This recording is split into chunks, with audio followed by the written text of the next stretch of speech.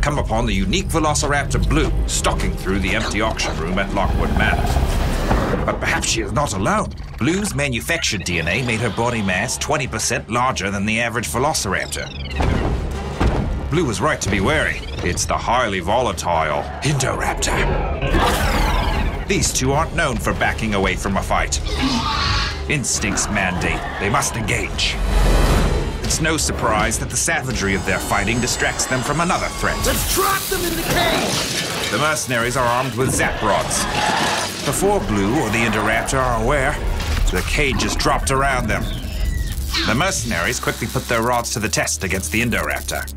Now, suddenly facing the same challenge, the dinosaurs work together to break free. We cannot hold them! Using the distraction, Blue escapes. With her ability to jump approximately 15 feet in the air, it's not long before she's found higher ground. Has the Indoraptor been left to his fate?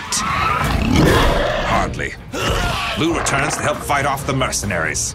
Blue makes conscious decisions about the company she prefers. The shared escape from the cage may assuade her allegiance to the Indoraptor, if only briefly. It seems Blue's alliance with the Indoraptor may be short lived. As the two will surely meet in the future to finish this battle, but that will have to wait for the next Jurassic Adventure.